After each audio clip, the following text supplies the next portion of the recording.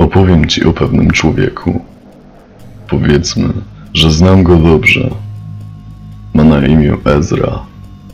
Jest to piętnastoletni chłopiec, który od dawna mieszka w sierocińcu. Zastanawiacie się pewnie, dlaczego piszę o nim na takiej stronie.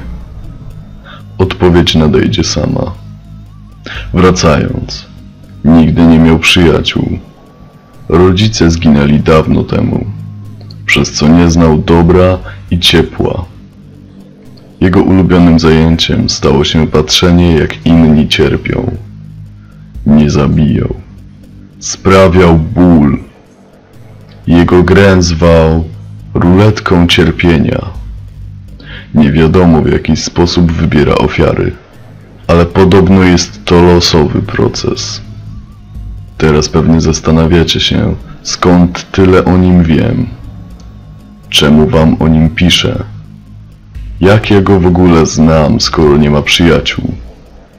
Odpowiedź jest prosta. Mam na imię Ezra. Ta strona jest tylko przykrywką. Dzięki odpowiednim programom nałożyłem na nią parę ulepszeń. Przez otworzenie jej pobrałem informacje o Twoim aktualnym położeniu. Jeśli czytałeś to gdzieś w parku, w szkole, to masz szczęście. Lecz jeśli siedzisz w swoim domu, w swoim pokoju, to jest na odwrót. Jak myślisz, który jesteś na liście?